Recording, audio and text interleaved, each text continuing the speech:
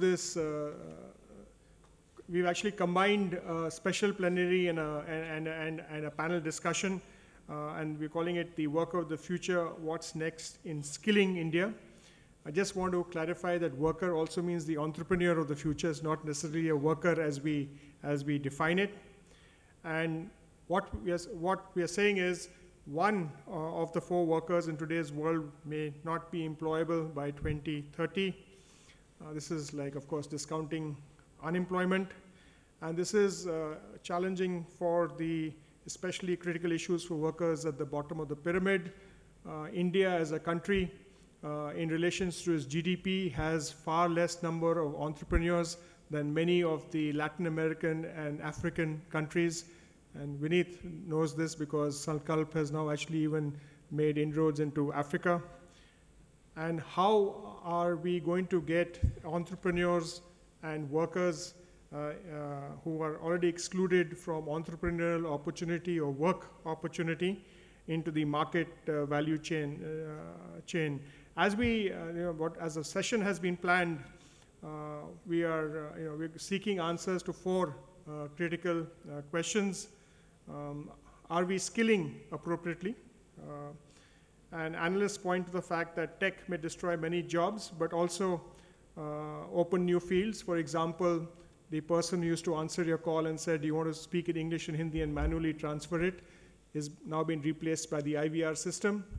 Uh, if you look at um, the new digital marketing job, this was not in the radar screen uh, seven months uh, ago, and there are many, many such examples. The classic one being the telegraph uh, or telegraph operator, the telegram deliverer has been replaced by email. And while skilling institutes, and we see some institutes in the audience are aggressively training the youth, we need to be really understanding the delivery and design of livelihood support systems so that they can adapt quickly uh, given the uncertain uh, trajectory. The second uh, question is, are we training enough entrepreneurs? Are we actually training them and putting them in, in place? And what is, are we enabling them to actually succeed? The third one is, are we matching the demand and supply appropriately? how do we make jobs available in the uh, appropriate location and are we delivering technology and capital uh, appropriately. So we have a great uh, panel here uh, and plenary speaker, Mr. Sunil Arora, Secretary, Ministry of Skill Development and Entrepreneurship, comes, is actually created history because he is the first secretary of the Ministry of Skill Development and Entrepreneurship. It can never be repeated again uh, in the history of India. Uh, and he comes with a very strong uh, success and delivery um, career in the civil service, being serving two chief ministers in Rajasthan, being the chairperson of uh, the Rajasthan Investment Industrial Investment Corporation.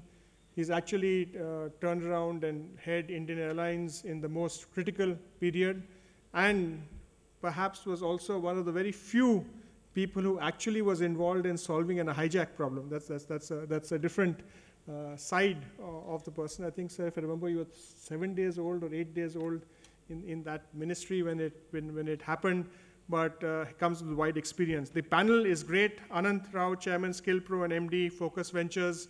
Uh, disclaimer, um, everybody in the panel in some way or the other is associated with NSDC.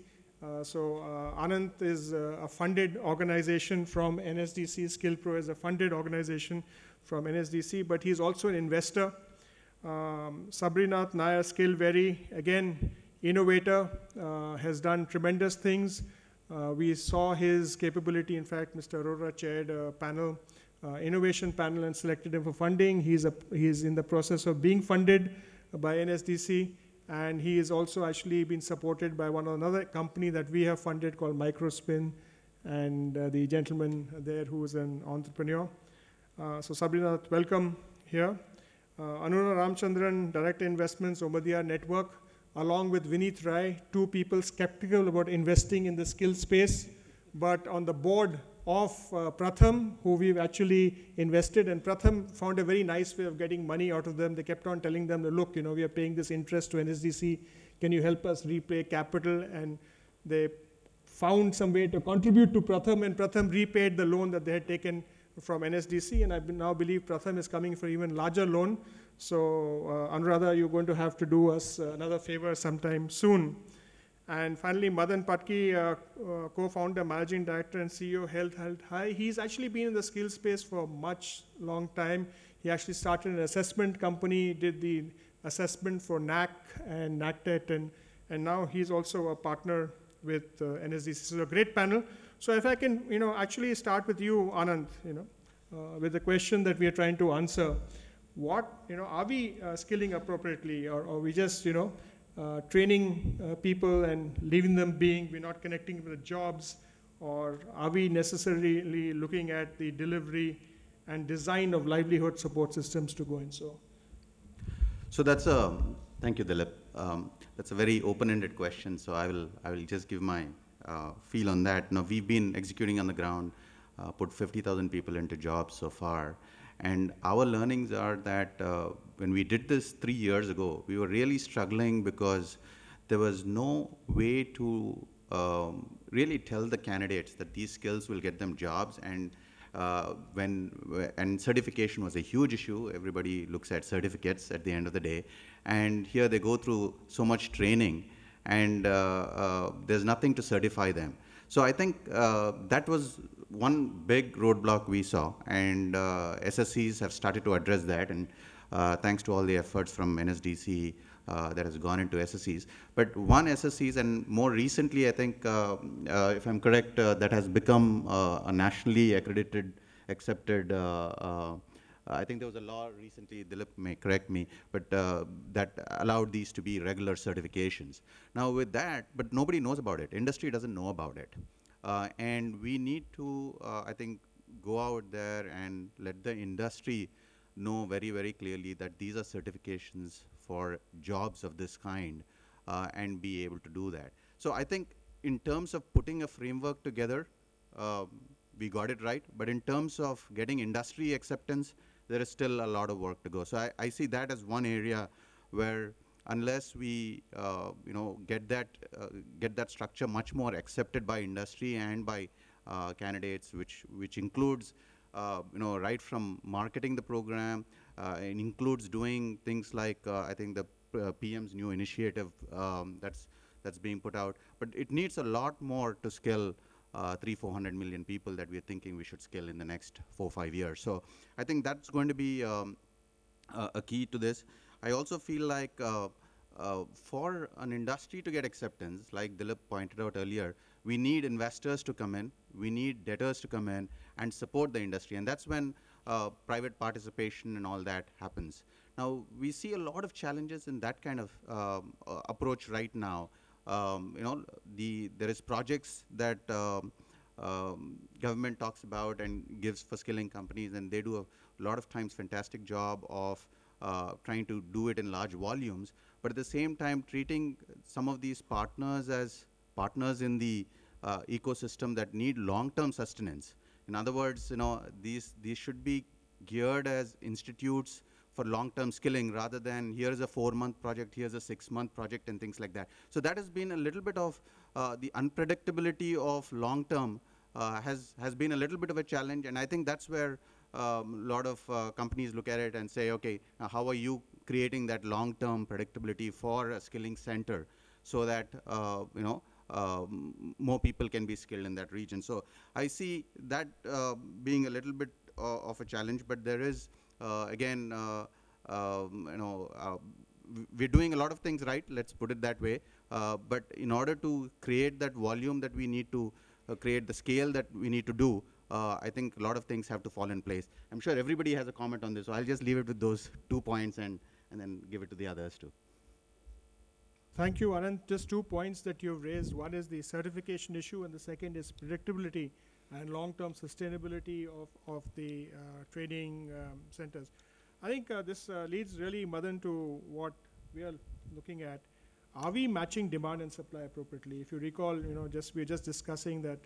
Are we looking at making people appropriate for relevant jobs uh, in the appropriate location, matched to the right skill, or uh, you know, how do we do this uh, thing? You know, I mean, yes, yesterday I think the minister and the, uh, Mr. Mr. Arora were present when we launched the second version two of the skill gap reports, which actually gives you cluster identification.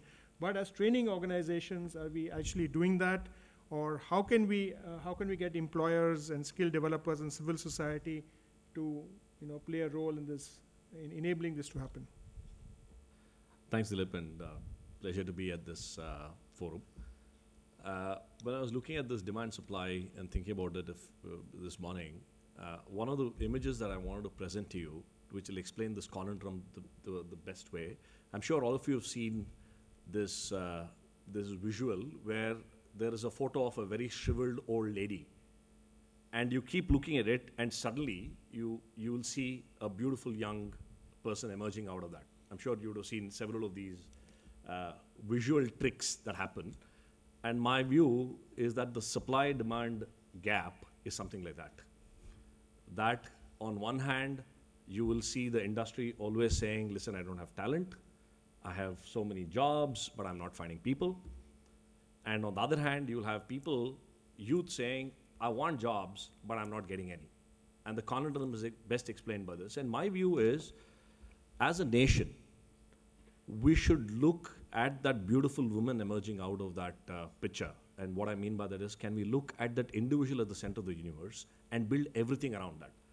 You know, at Merittrac, you know, you were referring to my earlier avatar, we did India's first employability report on engineering uh, graduates in, way back in 2005, and that 25% number emerged out of that report, which later on became the default number that everybody started quoting. And now I look back and realize, in a way, how wrong we were, because you can always look at anything from two perspectives. You can look at it from the perspective of the industry, and maybe the report was right, and maybe all reports are right to say that only X percent are employable. But when you look at it from the perspective of the individual, I believe, and in the work that we're doing at Head Held High, that everyone is employable, and I believe we don't have an employability issue. What we have is a matching problem. And what do we need to match? Not just the IQ, EQ, which has been the center of the skills part, but I think the more important part is to match aspirations of people to, of course, what they need to develop to match those aspirations and the intersection with the industry. So I believe it's like a, uh, the employability happens at the intersection of AQ, what I call as aspirations quotient, to IQ, EQ, which is where the skills and the whole aspect of how do you be in that job, to the opportunity that exists for that point of IQ, AQ, and EQ to happen. And that's the matching issue that we need to solve. So in that context, I would think that there should be, if you were to, if you were to truly solve the supply-demand issue, from all of our perspectives, we need to look at it from three angles. It's almost like, uh, you know, when in England, when the king used to, uh, when, when the old king used to die and the new king used to come in, the, the, the cry was always that, you know, the king is dead, long live the king, right? So I think there's a, I want to use that analogy to, to say three things. One, that training is dead, long live transformation. I think at a fundamental level, it's not about training, but it's about transforming that individual to, to, to achieve the dreams that he or she wants to achieve. It is just not short term training, it is about the long term transformation of that individual. Second, skills is dead, long live careers. We need to take away from the lens of just skills, but from an individual's perspective, we got to look at how do we construct long-term careers for that individual, and it's just not about a short-term course. It is, of course, about the short-term course, but it does not have to end there. It has to move much beyond that into careers that can be constructed. And the last part is jobs are dead, long live job creators. And I come back to the point that Dilip was making that we need to instill that aspect that everyone has to be a job creator. I see no way that India can absorb all the 115 million people that's supposed to enter the workforce in the next 10 years if we are not able to instill that aspect of entrepreneurial thinking and job creation. I'm not saying everybody will end up being a job creator, but the attempt should be that. And in that process, even if some of them become job creators, we can actually create enough jobs for everybody else. Right? So, in, so you know, in a tangential way of, of, of address all the things, we'll come back to it, but that's my early thoughts. Uh, thanks, Madan. And really, uh, Sabrina, you know, this is something um, what Anand and uh, both uh, Madan referred to was they, it was an underlying thing. And you know, how do you make it sustainable? Because let's say if you want to train a welder, the traditional course of training welder is about 50 to 60,000 rupees, right? Yeah. So what's the role of technology Hmm. uh, going forward? And how does technology both enable us to get two answers? Are we skilling appropriately? And are we matching the demand and supply uh, appropriately? So really like your views on that. Thank you, Dilip. Uh, I'm actually glad that uh, there is a perfect alignment in what um, uh, Anand said and what Madan said here uh, about certifications, aspirations, and having the individual at the center. Uh, one of the things that uh, we learned at Skillveri while we were building simulators for skill training is that uh, the cost of not training is not properly understood by people, not by the potential job seekers, not by the potential employers. So right now what is happening is the cost of not training is resulting in certain mistakes which either the end customer pays or either the employer pays. So I don't think this will be sustainable in the long run. So we'll have to possibly find methods of uh, um, ensuring that skill training happens to avoid these mistakes. Now, uh, if we look at certifications, then the challenge that Anant mentioned here comes that uh, is certification trusted enough? Is there a premium that industry is willing to pay for these certificates? So somewhere I think if we are able to bring uh, for the hard skills bit an equivalent of a GRE score, which uh, is trusted, and where you know you can know if I say that I am having a score of five and you are having a score of eight, then uh, uh, you are better, uh, uh, better than me by so much you know, measurable way, and it links in some way to what I call as the Gresham's law of skills. So Grisham has given a good law for currency. I think the same applies to skills. Like uh, bad certification drives out the good. Um, so uh, bad certification devalues every other genuine certificate too. So unless we have an objectively measured and proven proficiency in hard skills, it uh, all the certifications would be devalued.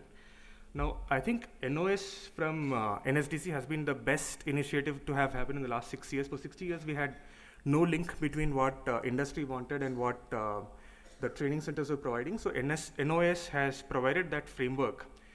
Now, can we extend it, build on it by making an objectively measurable metric for each NOS? And this is where I think technology comes in. And what we have found is uh, when we started building the welding simulator, we looked at all existing welding simulators. All of them were modeled on physics. You know, when I am welding, how does the molten pool of uh, metal uh, behave? What is the fluidity? What is the viscosity? What is the rate of uh, no, temperature gradient across the heat affected zone? None of this actually makes sense for the entry level worker, whereas it makes sense for maybe developing the next type of welding. So we then found that uh, there are uh, smaller, what we call as skill elements that you can break down a skill into. That is totally dependent on the on the learner. So like Madan said, uh, putting the person at the center. So instead of focusing on the process or on the machine that you're uh, operating, you focus on the learner. How does he react to how a machine behaves?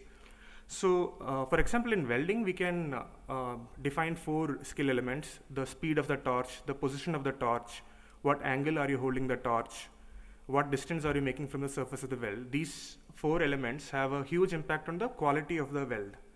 So, uh, what we found is that technology can measure these skill elements, technology can give corrective uh, feedback on what you're doing right, what you're doing wrong. It can uh, it can also correlate the effect of skills to the effect of uh, to, to quality. So if there is a way in which uh, such things can be measured, given targeted feedback, and then a final certificate, then the certificate becomes ob- objectively measurable.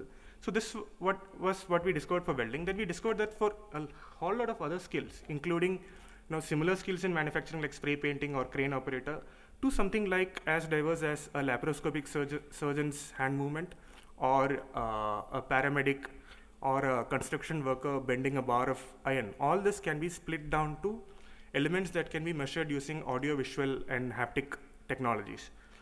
Now, uh, we thought that we had discovered something grand by uh, doing it this way. Uh, but uh, later we discovered that uh, there is a field of science relatively unknown called psychophysics, which is the theory of measuring how psychology and physics are interrelated. So, uh, so, so we found that simulators or any technology tools that are used for skilling should focus on psychophysics instead of physics and focus on skill transfer. How do we ensure that the person who is learning has actually learned and acquired the right kind of skills and at what level? Uh, and therefore, if we can extend NOS in uh, using psychophysics that uh, can be measured objectively across, then we can have a vision for extending the ITIs to digital ITIs, where uh, every single uh, digital ITI is probably a small area where, uh, it like, could be a village panchayat or a common accessible area where an aspirant can come in and then uh, check out which, from a suite of skills, check out which skill is he most suited for, and then know whether I'm uh, best in uh, welding or best in maybe giving an injection. And in this way, by having a technology angle to it, maybe the aspirations can also be increased. So we found this in welding. I'm sure this can be extended to uh, other skills as well. And I think uh, a lot of companies like Skillveri should come up and then uh, take this uh, forward. Thank you. Uh, Thank you. Uh, I think, you know, you've actually made very key points there, but he's only focused on maybe less than 0.05% of the losses that have been created and the, so there's an opportunity for them and he'll become sustainable. So for those of you who are looking at financing such innovations, uh, please do help because that's what will actually help uh, bridge supply and demand and are we skilling appropriately really here. And that brings us to the question is, are we using, you know, existing capital appropriately? And uh, that's where, um, you know, Anuradha, I think, uh, you know, we can only scale, right? And if we, if we use capital appropriately, and I, I would just like say the NSDC example was we don't give grants. We, we actually, uh, crazy combination, I think Vineet in the earlier conversation described us very nice, you know, venture capital, venture debt, that's what he does, huh? venture capital, venture debt, development finance, grant, equity uh, kind o- of a model. But in this space, or rather, you know, what's important is that small capital is required. You know, entry level, uh, first time uh, capital is required, few crores. You know, they can transform this whole space. So how do we actually bridge that gap? And what will make you invest? I mean, how can I turn it around from the current Minister of State Finance to you to say that, okay, now Omidyar, then we need to say, okay, we want to invest in skilling, we want to invest in innovation, we want to support the government programs. So to, to the to the three shuns today: certification, aspiration, and innovation. Sorry, are you able to hear me?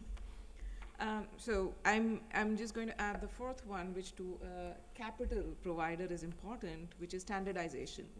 In the absence of standardization, scale is difficult to achieve, and if scale is difficult to achieve, the venture capitalist is not very interested as such right? So um, the and that's where we have struggled in the past. We've participated actually in the certification part of the curve uh, where we are beginning to see that so many people are beginning are trained in coming out there is a way of standardizing but that itself took a very long time to to come to uh, to come to a kind of uh, a level where people are interested in putting in capital uh, can innovate around it and build the right kind of a product right so if you look at IT skilling, for instance, everybody had their own internal training program, and then you know, like there was no standardized kind of a course which is available. Right now, people look at like, okay, what are you trained to deliver, and therefore, be, on the on that basis, you can actually have a certification, standardized certification. So we we saw standardization coming up first in the certification piece as opposed to the skilling piece, uh, because skilling is still actually highly fragmented, and it is not very clear that there is a, a clear understanding of where is a gap in skilling before you can so then you then you define therefore how you train people. And then on top of that you then say that you know like this is the standardized this is the standard you know outcome which is or skill which is actually acceptable across board across people. So if there is a person who's saying that uh, hey for you know a truck driver this is a skill it's great. If somebody is saying for a volvo truck driver this is different. From Ashok Leyland truck driver this is different you're, you're always going to have fragmented people doing doing the training and that is not looked to be scalable and therefore it is not looked to be fundable. So that's basically where we saw that there is a gap in terms of providing the financing. And if there is a way of addressing this this standardization we've also seen that you know like uh, uh, it's th- that definition or attacking that problem is nobody's business really right I am an entrepreneur, I'm running my business, I have to get enough number of talented people available today. That's all that everybody is focused on. But nobody is saying, hey, as an industry, this is my standard, standard quotient. So tell me the, how do I get enough people trained around this part of it? So that's what we feel is the missing link. It is not the availability of capital, it is not the availability of number of people, right? We always talk about the skill gap and it is hundreds of millions. It's not hundreds of millions of people. Even if they pay one rupee, it's hundreds of millions of rupees. So it's not the size of the industry, it's, the, it's not the size of the problem. It is actually this missing element of saying standardized training means this, which means that people can actually achieve to uh, you, you, can train people well, there is a standard curriculum, then you certify on the basis of that, then you can finance it easily. So that's basically where we find the gap to be, and we are finding it very difficult to understand and, and you know, provide the kind of financing which is required at that. Okay, so what we'll do now is, you know, the other three speakers, and then coming back to another, a minute each. If you would like to respond to any point that the any other panelists made before we ask uh, the secretary to address, because I think standardization has crept in, and um, I don't know who is going to address that point. Scale also has crept in. Maybe uh, Anand, start with you. Uh, yeah, I think uh, um, very important point about standardization, right? And that's where the uh, an initial attempt came from the SSC certification, the defining job roles, saying this is what you do in order to get certified as an electrician, level one. And, uh, uh, and that's a valid certificate. Now, the challenge today we have, of course, you know, the, there is a few of those uh, uh developed and SSCs are delivering to that, and um, few more have to be done. But I think it's a, a good step in the right direction. The, the problem there is today it's just started and there's not enough awareness about it. So industry is not saying, hey, do you have uh, this? In fact, uh, yesterday I heard the minister say, um, you know, if you want a government job in 2020, you have to have a skill certificate. It's a very, very strong statement. Yeah. I was very happy to hear that. But he's clearly in, in the direction of um, there is standardization, you have to go through that. You will get a certificate that the industry recognizes, and government as an employer is also going to look at that. And uh, I think now a lot of industry players coming in and saying, hey, are you uh, NSQF certified or are you SSC certified? Uh, and it's kind of new terminology still for the industry. And, and on the other side, the candidates don't still understand it. But the, some uh, active drives behind these programs can go a long way in standardization. So hopefully that's, that's the first step. Uh, on the technology piece, I think, uh, you know, uh, very good talk on the content side. Um, but I also think that the delivery of um, training across rural regions using technology is also going to be an important component uh, of that uh, for scale. So those are at least two of uh, points out. Yeah, so, so it comes to you, I think, on the technology part, but just one bit of information before you actually come in, Sabarinath, is the you know, there's a partnership going which a lot of people don't don't remember, uh, don't know of, and it's our inability to communicate this.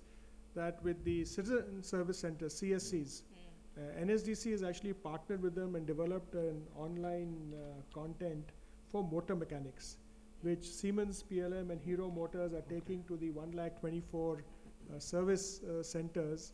Uh, across the country and training three to four people using technology. So that's also, and you know, we have to scale this and I'm trying to get CSC to make it a sustainable business model, but seed capital for them to get you know, 25% is a challenge. But, but I think uh, Sabrina, you might have a perspective on yeah. the other comments made by people. Uh, so I would like to speak about uh, uh first the finance angle and second the, the ruggedness of uh, technology for scaling up in Indian case. So uh, financing could be at multiple levels. It could be at the um, the student level. It could be uh, at the entrepreneur who wants to run a training center level, it could be uh, at an industry level where you know till they recover the benefits of a better skill. You know, at, at all these stages, I think there are lots of more innovations in the financing of it that can be done because many of these things seem like a chicken and egg problem. Because unless the industry sees benefits at the shop floor of having a certificate, they may not want to pay premium for a certificate. And unless a student is going to earn better money, they are not going to pay for a certificate. So who pays for certificate? I think it is still a very open question. Um, so I would like to hear from Anuradha about uh, what are her thoughts on that. Uh, and uh, to answer uh, Anand's question, I think the approach so far has been to look at uh, uh, what are the standardized, uh, you know, video-based and other methods of delivering knowledge in when we usually apply technology. You know, it requires internet or certain kind of. Uh, we were so far looking at ad- adapting something that has been designed for another context and then trying to put it here. I think that approach may not always work, but if we can look at uh, redesigning from ground up. So, uh, for example, the welding simulators in our case, uh, we took about two years to design it and get it to a certain level, but there were always alpha and beta trials that happened, which ensured that in 15 months we could get 20 customers. Uh, in, an, in a market where uh, MNCs ha- had been selling for six years and sold five machines. So the reasons are like it is rugged and it is. Uh, my simulators are now running in uh, Digboi in Assam, in Mandi in Himachal. So all kinds of uh, Roorkee near uh, Delhi. So all kinds of varied levels it is working now. Will it scale up to a larger number? I have 20. I think the market needs about 10,000 or 20,000. Uh, that's where financing again comes back. So I think technology. I think we, if we look at uh, designing at a very Indian requirement stage from ground up from Indians itself, it is quite possible. I don't think building technology is a problem with India. We have the capability, but uh, you know, tying together NSDC is the you know one uh, entity of bringing all of these together. Second would be the financing of it, not just the technology development, but also who pays for the skill t- development. Madan, you have two minutes. Yeah. I'll add a few more shuns to it to what Anuradha said. So the way that I'm thinking through this and stringing this together is there is aspiration, which has to be matched by clusterization of sorts from the industry. As an example, if you look at the evolution of the IT and the BP industry, you know, software development took off as a cluster in Bangalore, F&A back office in Chennai, tech support in Hyderabad, investment banking, higher end in, in, in, uh, in Mumbai, call centers in Delhi. And the aspirations of people in these markets were linked to that cluster. So therefore, the supply demand has to be matched on these two shunts, right? And then, of course, you have innovation. On the other hand, the innovation has to lead to a solution for the individual, right? Not just innovation for the sake of innovation, but innovation for the sake of providing a solution. And somebody, what you talked about is exactly that. That how do you reduce and how do you do transfer? And the last shun is, you know, what you talked about, another. is the standardization leading to a certification, so that there is recognition that this stands for something. And in this, all of this, there is an ecosystem play. There is not a single entity who can stand up and say, you know what, I can do all of these shuns. There is government, private players, education systems, financing guys who all come together. And, and it brings back to the aspect of financing that financing, in my view, has to be a hybrid solution rather than an individual. So what I mean is, especially in the skillings industry, if you were to call that, it has to be a combination of debt, equity, and grant that will make a model sustainable. And I don't see a single type of capital coming in and saying we can make this model sustainable. And I think that's where the initiatives that's all coming together uh, uh, is looking good, and we have to accelerate that uh, progress. Thanks, Madan. Anuradha, any uh, comments before I request Mr. Arora to speak? So two, um, so Sabri raised this question for me specifically in terms of saying, you know, in education finance, how are you guys thinking about it? Because there are multiple levels of intervention. It could be a student level financing, it could be a center of where, which is delivering the content as a, as a financing, or it could be the content provider financing as well. So there could be multiple levels of financing. So how are you going to address this part of it and what's the thinking around it? And then there was uh, Madan's comment on, around the different kinds of, again, like instruments like equity, debt, and grant, which is, which is currently available in the market. So I'm going to use actually aspiration as a basis to answer both of these questions as such. So for any, so venture level kind of, which is the equity part of the financing, right? That requires scale. For debt, it requires repayment capabilities. And for grant, uh, it requires intention right? That the, the intention that something that you're doing is going to improve the quality of life of that individual. So in the absence of that intention or in the absence of that evidence it's going to like fall through as well. So all these are kind of like if you if you work through that uh, you know links links back to the aspiration. I do not have an answer there a ready-made answer which says that this is the right way of solving this problem nor can i answer the prob- the question that uh, sabri is asking directly. Well, what i can say from experience is this uh, we saw actually our intent, in fact, still is to figure out a way of funding individuals, right? Like to turn the financing model on its head and say funding individuals. What instrument we'll figure out over a period of time, but nevertheless funding them so that they see the value in a program, taking a training and finding a way of creating a livelihood for, for themselves. That is actually a basic uh, you know, aspiration that we have. However, in the context of doing this, right, like we, one of the things that we were we were trying and struggling still as a problem is, if we fund them fully, then what's their skin in the game? The second part of it is who's going to pay for what, right? And what is the what is it that you know makes people have the intention of paying for something, right? In the absence of paying, and if, if everything is free, then who's going to value it as well? So it's, it's a very difficult uh, uh, question to answer. And the only answer that we have so far discovered is that funding in, uh, you know, like individuals is a hugely difficult problem, right? One is that there is no evidence that actually training needs to, uh, leads to livelihood improvement from our perspective. At scale is what I'm talking about. It, it happens in the lives of people. So in, in where we've intervened, where we've given an organization a grant in West Bengal to train people, the same organization is actually tied up to a rural BPO to place people so that you know like the, the curve is actually completed. This is how we tried a, tried an experiment. The few things that we're figuring out the training organization is play, when it is placing directly only with the captive organization between the two there is a lot of friction.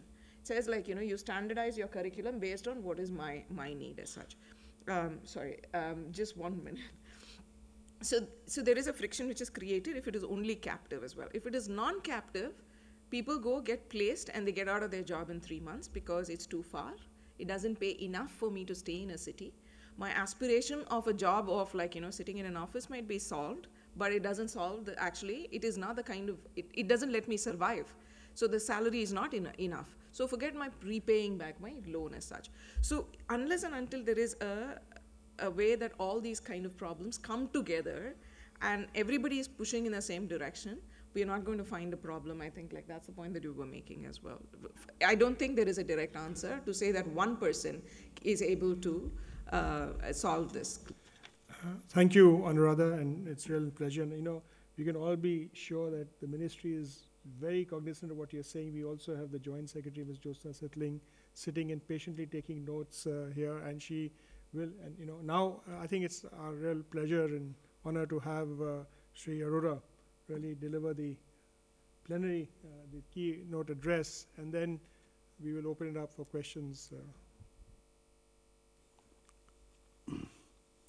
My colleague Dilip, who and whose uh, other group of consultants have been doing our hand holding after we joined here in the new ministry. Mr. Madan, Sabarinath, Anuradha Anant Raoji, and our host, Mr. Vineet Rai. My very valued colleague, Jyotsna, and friends.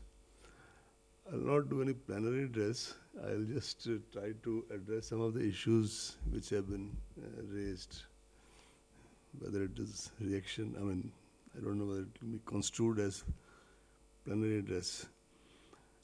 One of the most important issues which has been raised is certification. Certifications are, after we kind of, after I also took over here on 2nd September, one has been grappling with several issues of the very complicated skills ecosystem and entrepreneurship ecosystem. But certification is definitely one of the most important issues which is facing the entire the whether it is the employers, whether it is the ministry, whether it is NSDC, whether it is the credit agencies, everybody. So I'd just like to inform you that number one, on 17th March, a notification was issued, which is on the websites everywhere, clarifying that SSCs can issue non-statutory certification. I have requested uh, leap to make it, get it disseminated more widely. But there is non-statutory certification. What about statutory certification? You already have, for example, somebody works in L&T, is trained there for six months, and given a certificate, that has a certain peer group acceptance. Somebody has worked in Mahindra Tech, and after six months got a certificate, that again has a peer group acceptance, so on and so forth. There are hundreds and hundreds of examples all over the country. But the catch lies in the statutory certification, which is which has a pan-India acceptance, and even is accepted in the skilling ecosystem abroad. So I'm sure all of you are aware that there was a notification issued on 27 December 2013. This is called Notification of National Skill Qualification Framework. This is an 18 page notification. Uh, the last page talks of implementation schedule. And whosoever wrote it at that time did a good job, very good job, in fact. And by the way, this has the mandate of the Union Cabinet. It was passed by the Union Cabinet. And it says, if you don't mind, it'll take me two minutes just to read one or two important sentences. Immediately after the notification of NSQF, all other frameworks, including the National Vocational Educational Framework, Qualification Framework, released by of HRD would cease to exist and would be superseded by the NSQF. NSQF compliant training stroke educational programs stroke courses would be entitled to receive government funding on a preferential basis. After the third anniversary date of the notification of the NSQF, that is 27 December 16, government funding would not be available for any training stroke educational program stroke course which is not NSQF compliant all government funded training and educational institutions shall define eligibility criteria for admission to various courses in terms of NSQF levels. The recruitment rules of the government of India and public sector enterprises of the central government, this is a point you made and the minister made yesterday, shall be amended, not may be amended, shall be amended to define eligibility criteria for all positions in terms of NSQF levels. And similarly, there are goalposts for fifth anniversary. Why I read it in front of all of you was just to Uh, buttress the point that this issue has been addressed at that level and is being taken up. Now, how do we really make it compliant? Under the NSQF framework, there is a body called NSQC, which has to align or formally approve the occupational standards, the QPs and the NOS created by NSDC. Hats off to the SSCs and uh, kind of uh, work done by Dilip and his colleagues. Uh, in such a short time, as on 31st, 1st March 2015, they have together created the 28 extremely, the 28 functioning sector skill councils, which is, they have created 6,625 national occupation standards and 1,319 qualification packs. We have requested, I also had a detailed talk with Mr. Ramadorai, the chairman of the NSDA uh, and NSQF framework, that in the next uh, maybe about maximum two to three months, we should have a series of meetings in which all that has been done, there's no need to kind of start doing, uh, redefining the wheel and reinventing the wheel. We could kind of take all this on board and and I'm very, very hopeful that in about three months' time from now, we should be seeing a picture with the national, uh, at least most of the, almost all the national occupation standards and maybe almost 80% of the QPs are formally cleared by the NSQC so that we could move to a regime where we could issue, start issuing statutory certifications, which should have a pan India acceptance. This is so far as certification is concerned. On the skilling landscape, whatever little I have seen in the last five months, uh, I find there are, frankly speaking, uh, far too many islands of excellence, which give us a lot of hope. And this is not trying to be optimistic for the sake of it, or just because one has to say certain things. I'll also say what are the areas of concern which should concern all of us. But these islands of excellence are in the skilling as well as in the entrepreneurship uh, landscape throughout the country.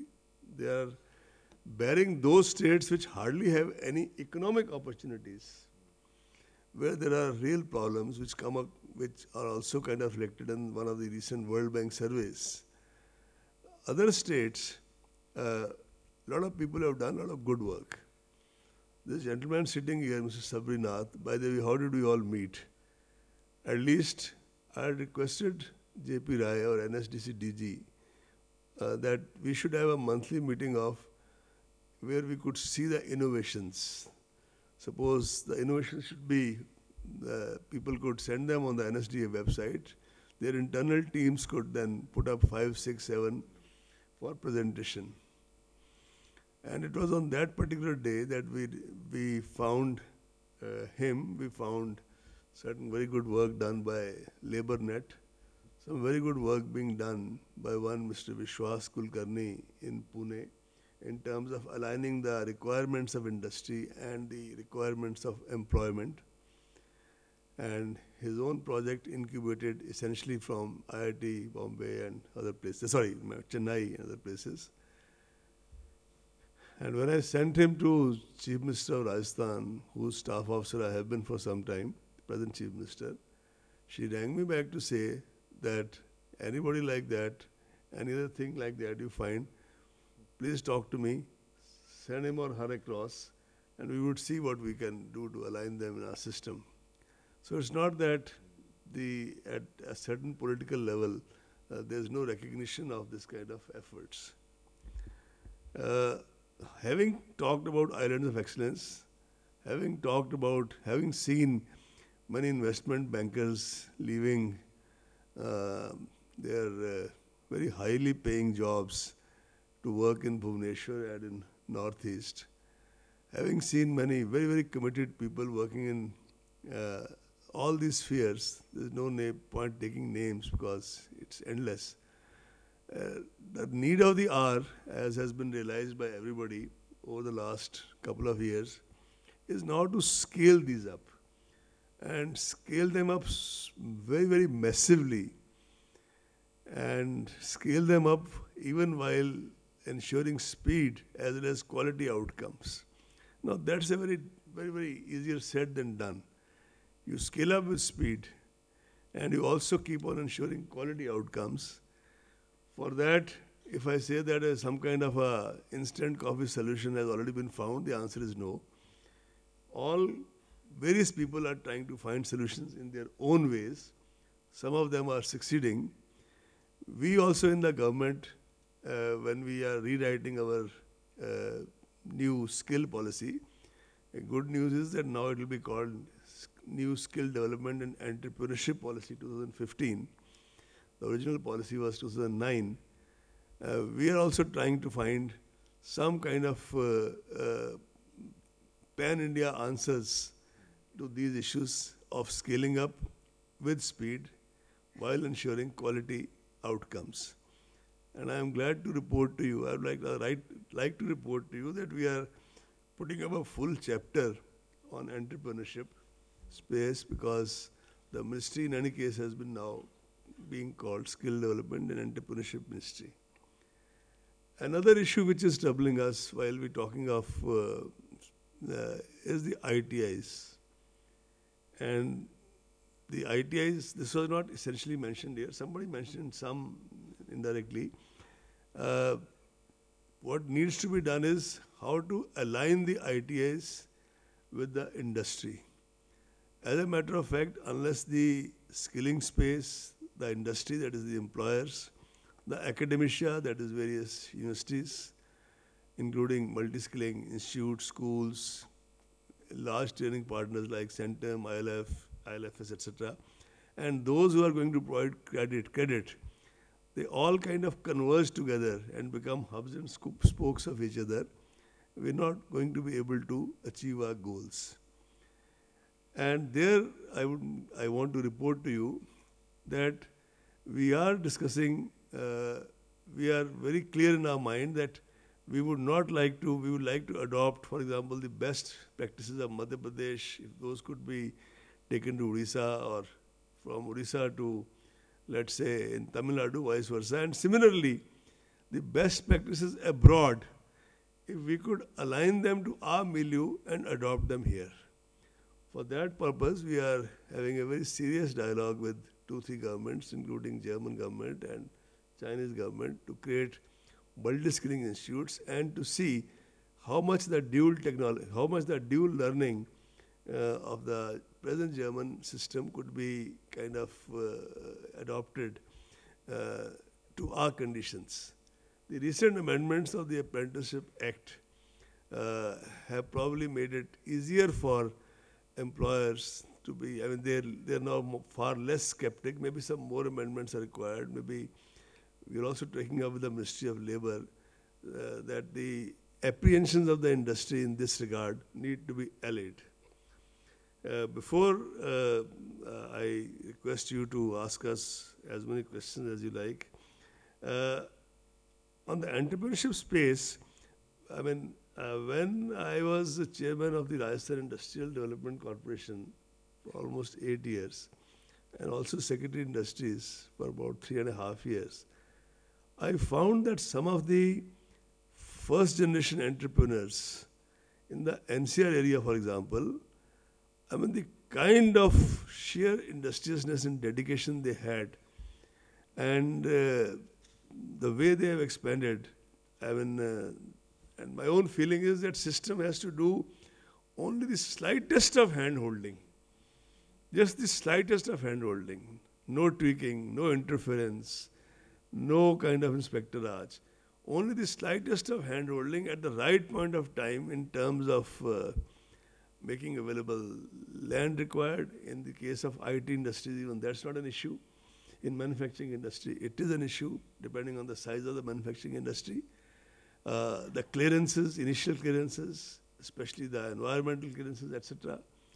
And then, wherever required, even the state corporations are able to provide credit up to certain limits. And I find that a whole lot of people end up paying sooner uh, than their deadlines.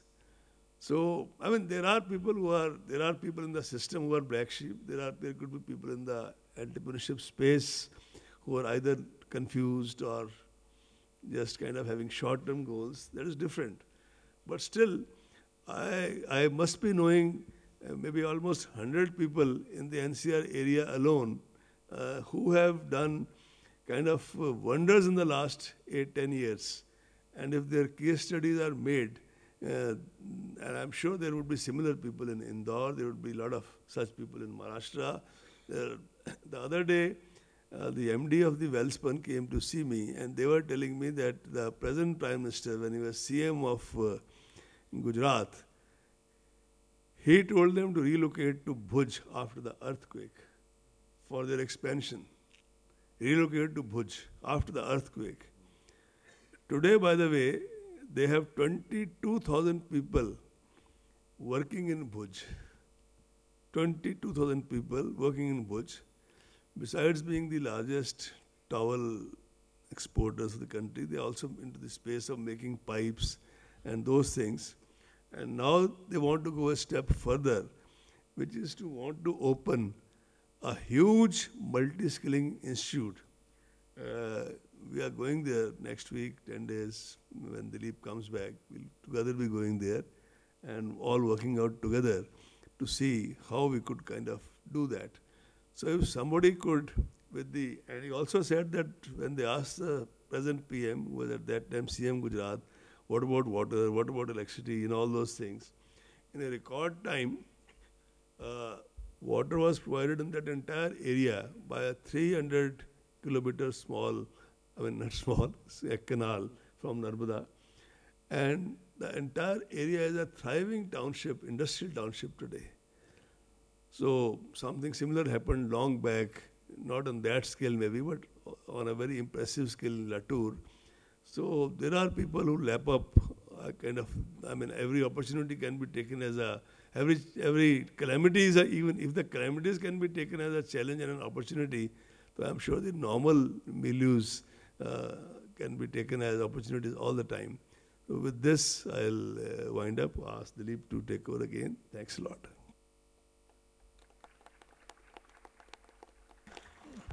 Uh, Thank you, um, Mr. Arora, uh, for your extremely, you know, I think what you've heard today is something which is not very well known about the certification, the, the, the uh, NSQF, uh, the QPs and NOSes, as well as the islands of excellence and the, the whole thing of attempting to scale and the new policy and direction being given uh, by the ministry. It's, it's very, very, very significant and, you know, the, from the NSDC standpoint also, we are, you know, earlier we were inundated with uh, uh, requests and meeting requests. Now it's actually become 10x because the ministry has really positioned it uh, very differently under the able leadership of the secretary. So it's open for questions. Uh, just to be brief, uh, just mention who the question is to. We'll just take three questions together and then we'll see. Yeah, yeah please.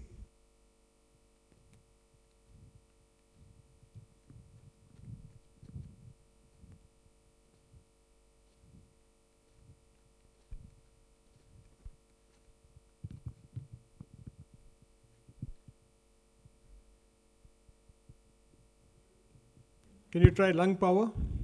Okay.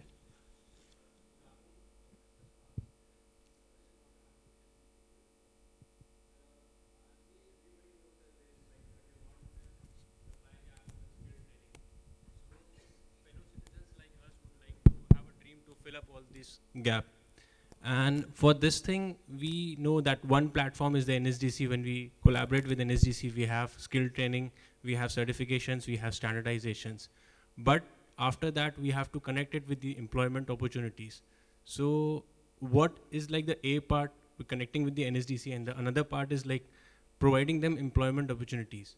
So both of these things, if we can club it together and we can have something, and from people like us, can collaborate with NSDC and with MAM, who can give us a scale up, so we can have a lot of social entrepreneurs. Yeah, we, we just going to take two, three questions. Yeah, yeah, please, you have a question. Okay, uh, Dilip, I'm Amit Bhatia from Impact Investors Council. My question is actually to you. You're probably the, not probably, you are the biggest impact investment fund in case of skills. And I think from an investment standpoint, can you just share now, now that this journey is five, seven years old, what has been the scale of investment? How many enterprises? Is, uh, are there any returns out there from your vantage point, and what could this look like next two, three years? So has this returned money to you? Thanks, Amit. Yes, ma'am. Uh, hi. So probably this question may be a little naive, but I wanted to ask you, like, uh, do you think how soon do you think should vocational training be introduced to uh, the individuals? Don't you think that in school and college level also it needs to be introduced? Because I think the um, um, psychologically what we associate vocational training to is something like someone from the rural background or someone who's not from uh, upper middle class family uh, only those people get associated with it and it's like the electricians the carpenters uh, the ones which require these kind of um, skills only they like that's the perception that's the normal perception that we have so don't you think that schools, colleges also should introduce this particular program at an early age and condition the minds uh, so that going forward we have a brighter future? Yeah, if you have your name, then we can personally respond to you. Uh, my name is Anandita. Thank you. Thank you.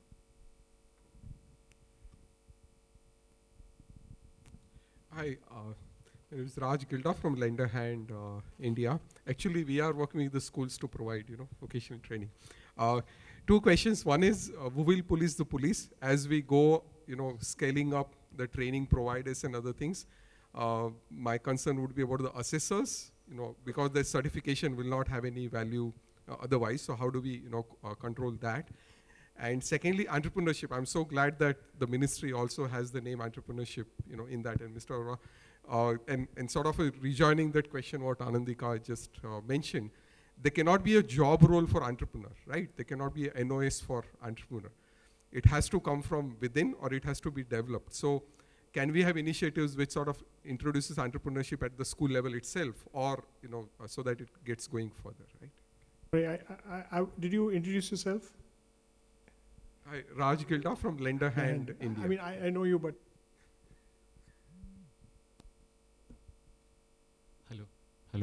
Hi, this is Abhijit from Make in India. Uh, before I ask my question, I have to, uh, I'll have to tell you what we are doing actually. Uh, in Make in India, we are uh, indexing two kind of skills and the production which we are doing inside the country and kind of services and product which are available outside the country. These two indexes will match in future and then we'll be able to make sustainable uh, uh, branch models of production in these models, what we are getting from the outside, from the global market, is kind of things which are available, being smuggled or being uh, uh, sold in uh, global market, are almost on a level of extinct in India. Any art or any something like uh, in wellness, panchkarma, or uh, in art, uh, rural craft areas. So this is only about uh, taking uh, what uh, we are talking about skill building is only about doing the scaled up or is there any art which exists in India which used to exist and now on extinction are we going to do anything about them? Okay we'll just stop here and can can I uh, request uh, would any any would like to answer before I answer the two questions addressed to me and then request Mr. Arora to address? Shall I do that?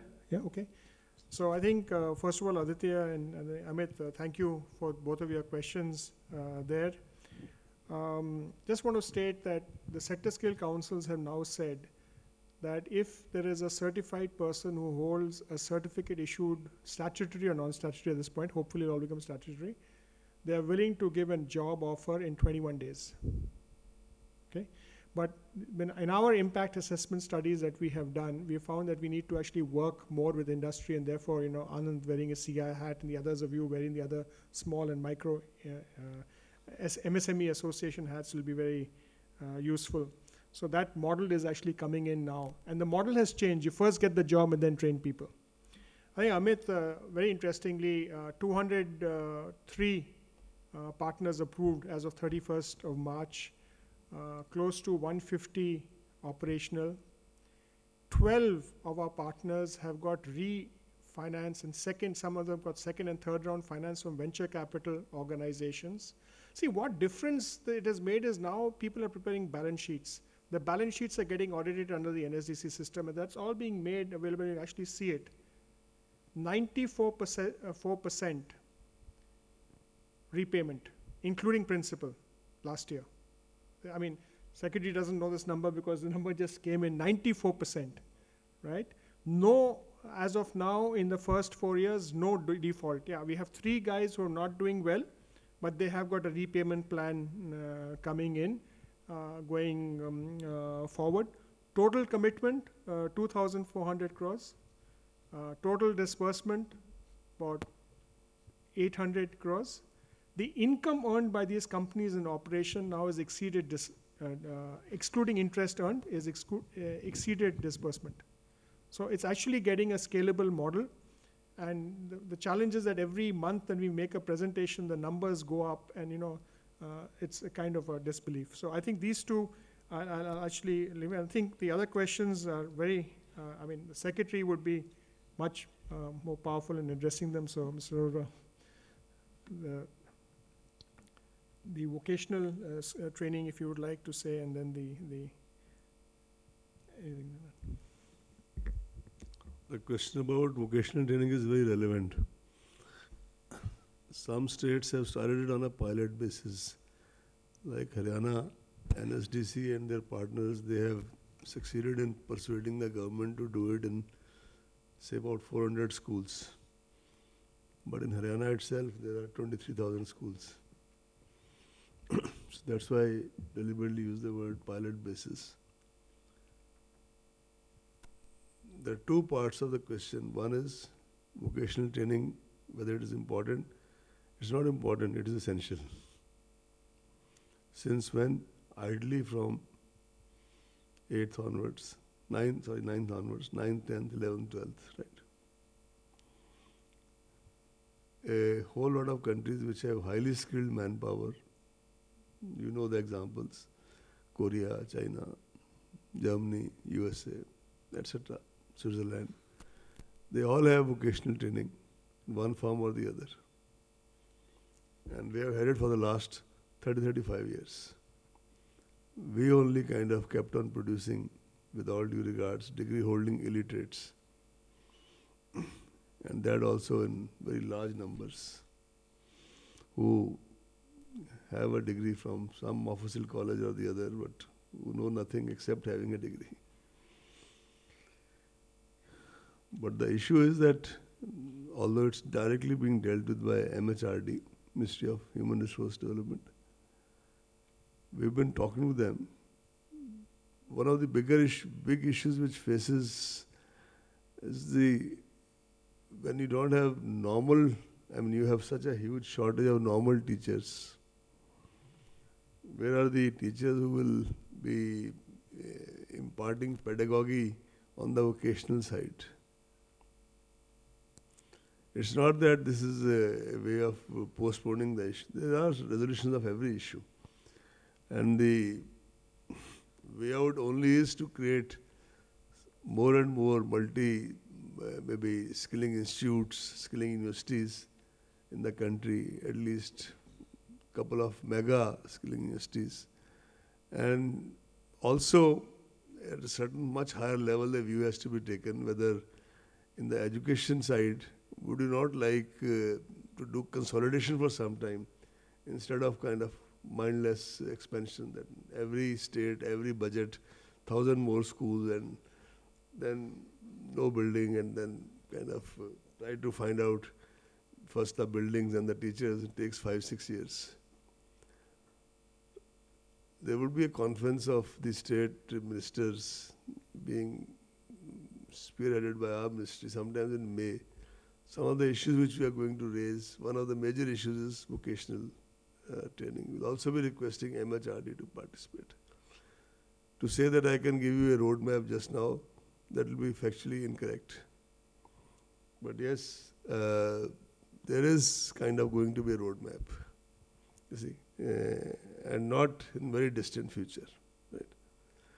Another thing which I had forgotten to mention as an important issue, which I think I would like to mention before I close, is that uh, I think the the employers also have to think as to what are the compensation patterns or incentives for reskilling and upskilling. Uh, that is something which the federations, whether it is CII, FICCI, other federations, small industry federations, because CII at the end of the day has only 7,600 uh, members. Same would be for FICCI. A lot of people in the small and medium industries. So one systemic change we are trying to introduce is that in all the sector skill councils, uh, we would have a mandatory presence on the sector skill council at the governing council level of somebody from the small and medium industries so that their concerns are adequately reflected and they are also sensitized as to the issues in the landscape. But compensations and a career path is something which the employers have to look into. When Henry Ford started giving $2 a day way back in the earlier 20th century, most of the industry, his peers in the industry, and there were some of the most trenchant articles in the newspapers those days, calling him from a madman to whatever, all kinds of things. But it just revolutionized Detroit and it changed the face of automobile industry in the world. Somebody mentioned about assessors. Again, a very, very, because when I had uh, uh, gone to a couple of, uh, talked to a couple of other colleagues and training institutes, I think assessors is an issue. and sometimes they take inordinately long time, and they, the real danger is that they should not become some kind of a parallel Inspector Raj or a new Inspector Raj of skilling.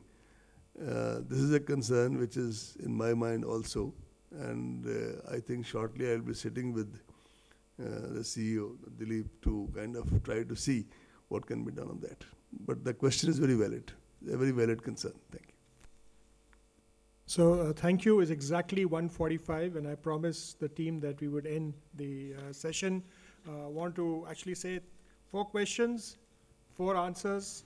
Technology is a must and has to be leveraged, otherwise we can't scale. Are we skilling appropriately? It's work in progress. Uh, new model and dramatic shift to ensure that we're going to uh, uh, be able to scale at speed, at standards. Are we matching supply and demand? The framework, and like we said, you know, yesterday the minister said we have now the ammunition because you know sectorally demand supply gap spatially. Uh, and I think the model is evolving. Uh, we again uh, need to scale. Are leveraging existing capital appropriately? no and yes. No, because more people in this room need to be able to fund skilling initiatives and technology initiatives in, the, in, in the uh, skilling space. Yes, because the ministry is leading the charge, like you heard about the schools and a meeting held day before yesterday where all the power plants and the coal mines, etc., were offered their schools, their training institutions, their plants to do that. So government infrastructure and private infrastructure is being uh, used uh, uh, to scale. So I want to thank uh, first uh, Mr. Sunil Arora for actually spending time with us. He's been throughout the panel discussion and we have actually made it a very interesting session. Thank you, sir, for being with us and for so lucidly actually sharing your views and communicating the initiatives of the ministry.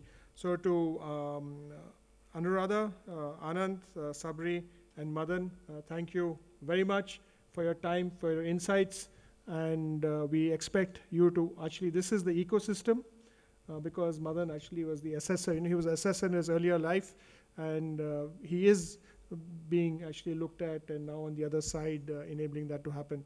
Thank you all of you for the audience for seeing, uh, being such a great uh, audience. And thank you, Sankalp and Vineet and Aprajit and the entire team for providing us this uh, platform.